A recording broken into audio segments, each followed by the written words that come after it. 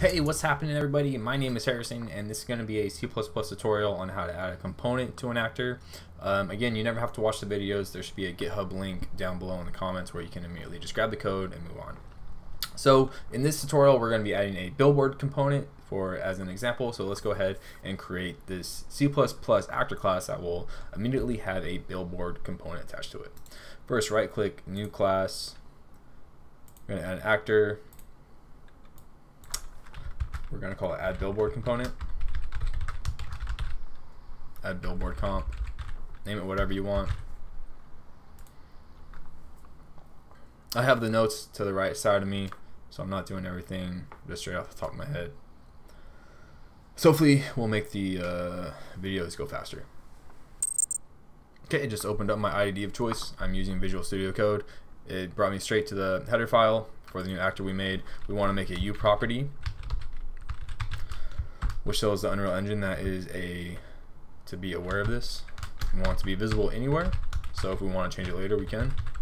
Uh, I think that's good. Uh, we're going to be calling a new class. It's going to be a U billboard component. So I believe you know this would also be a uh, a place where you'd put in other components if you wanted to inherit from a different class. Uh, don't forget the pointer.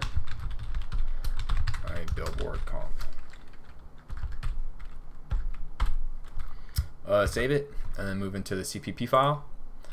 Under the init function where you set the default values, let's go ahead and set it up.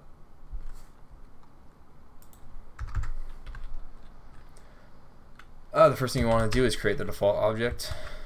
It's going to equal create default object. Create default sub object rather. Uh, it's not coming in. I always I always mess that up. Uh, create default sub object use stack mesh component no, I think it's to be static. Uh, it's to be static billboard component. No, rather it's just to be U billboard component. And again, that's what I declared in the header file. So we'll be consistent. Text uh, will be my billboard.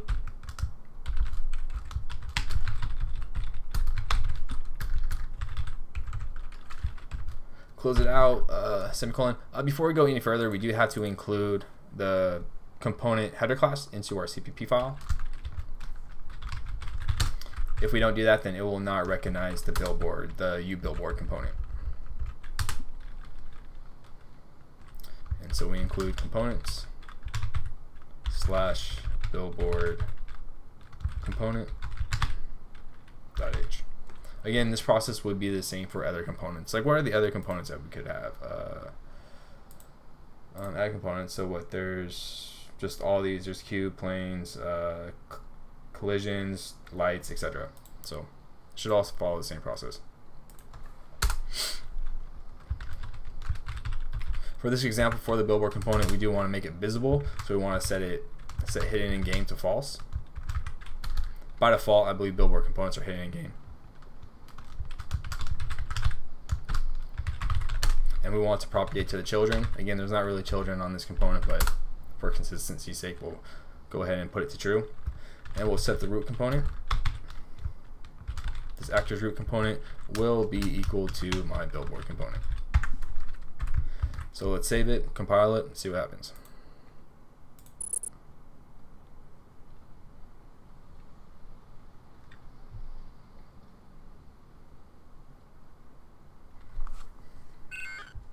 Alright, we got an error. Where's it at? No such file or directory. Alright, so it's just a typo, I assume. Mm.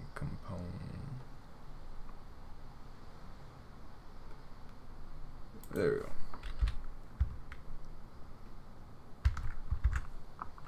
What's this error? Uh, what's